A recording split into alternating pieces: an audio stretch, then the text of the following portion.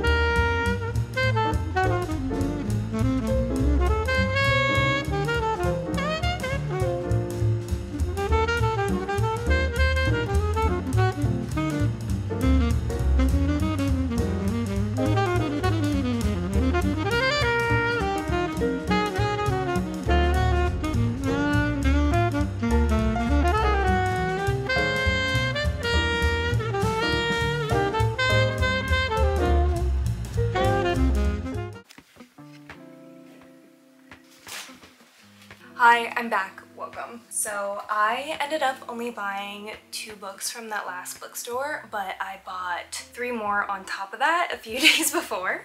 But I'll start with the books that I just bought. So I picked up Second Place by Rachel Cusk. She is the author of the Outline Trilogy. You've probably seen these beautiful books with their beautiful covers, and I got recommended this. She seems like one of those poetic sad girl authors, and I'll just eat her up. I know she deals with a lot of themes of motherhood and womanhood, which I am usually drawn to, even though I have no interest in being a mom whatsoever. But she just seems up my alley. The synopsis of this book says, A woman invites a famous artist to use her guest house in the remote coastal landscape where she lives with her family. Powerfully drawn to his paintings, she believes his vision may penetrate the mystery at the center of her life. But as a long, dry summer sets in, his provocative presence itself becomes an enigma and disrupts the calm of her secluded household and it says that it's a haunting fable of art, family, and fate. So this seems right up my alley. And then I also picked up today the Days of Abandonment, and I am extremely excited about this book.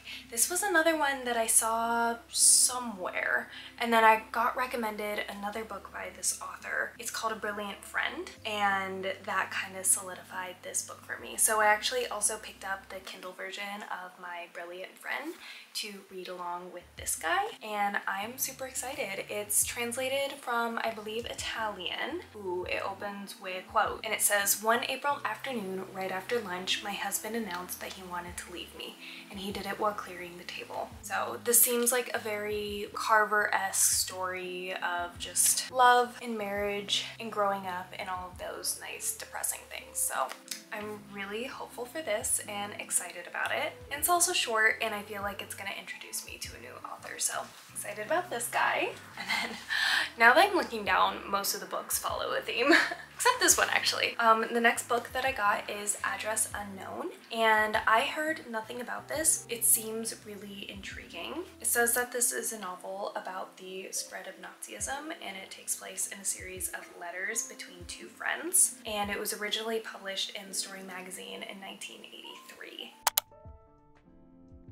and it's credited with revealing the dangers of Nazism to American readers early on. World War II was like my Roman Empire. I, as a little kid, was obsessed with World War II and especially historical fiction related to World War II, like The Book Thief, I've read The Book Thief probably 10 times. Anything about World War II, I would just eat up. I'm definitely excited to read this. I know it's gonna be really sad, so I'm gonna have to wait for the right time, but super interesting book and I want to get more into historical fiction and maybe even some nonfiction eventually, and this seems like a nice stepping stone. So, Address Unknown. And then I also picked up at Barnes & Noble I'm I'm gonna butcher this name. Bonjour, Tristy. Tristesse, dumbass. It says that the author was only 18 when she wrote this, and that's a book about a 17 year old who gets sent to a beautiful villa outside of Paris for summer with her father, who was a recent widower, and his wandering eye, and also his latest mistress, Elsa. It seems like a coming to age novel, and that she's just exploring her sexuality and her freedom and growing up. So I'm very excited to read a coming of age novel where the author was that age herself. Even now, when I read books about being in your 20s, written by 30 year olds or 40 year olds, I feel that age gap, and I'm excited to read this because hopefully it will be more authentic. Yeah super excited about this and this was a recommendation by Dakota Warren on YouTube and I love so many of her books I wish I had taste as good as hers so I have high hopes for this guy. Finally, I saved this book for last because I can talk about it for like 12 hours straight and that's The Vaster Wilds by Lauren Groff. I'm biased because Lauren Groff is my favorite author. She could spit in a napkin and I would eat it up. This book I am obsessed with. Um, I bought it like two days ago and I'm already almost finished with it.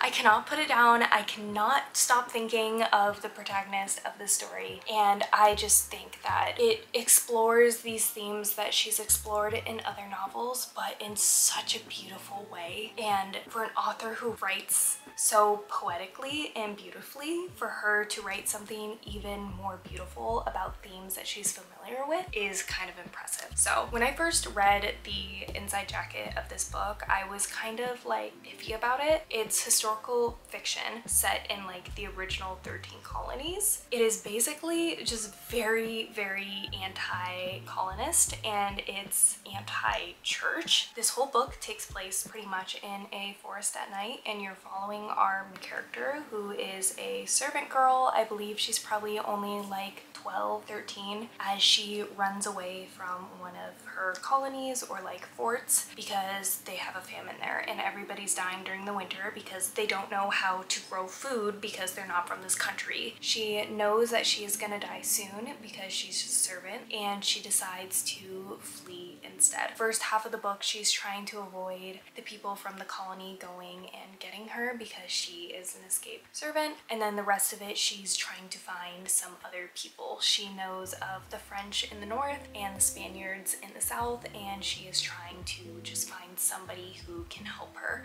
or at very least figure it out how to live on her own. While she's alone in the woods, it's basically just her and her memories and like God speaking to her. And it is the most beautiful discourse. She is having a hard time figuring out why she's getting punished by God and why she is in so much pain and in so much hardship. And it's a lot of ruminating about how she is a servant and she has shown nothing but compassion and love her entire life, yet she has such a hard life, while her masters and mistress, who are both part of the church, are greedy and they beat her and they make lives around her horrible and they killed the natives and they are seen as godly even though they aren't. They're really selfish and they're greedy. So it's a lot of these conflicts that happen just kind of existing within Christianity and she's applying it to like this brutal landscape and it's just so good.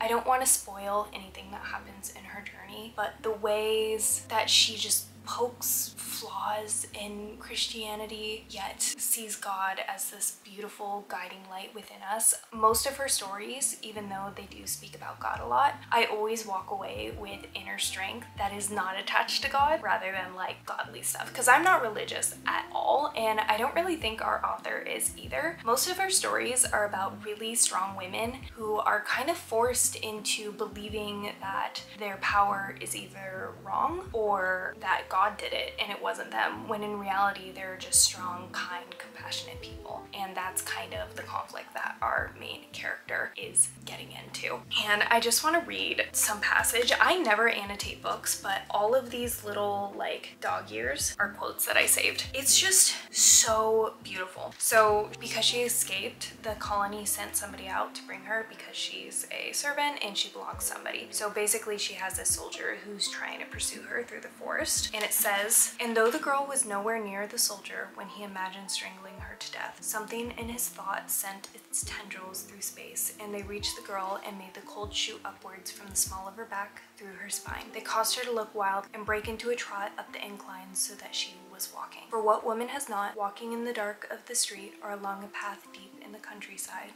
sensed the brutal imagings of a man watching her from his hidden place and felt the same chills chasing over her skin and quickened her steps to get away. Like, it's just so good.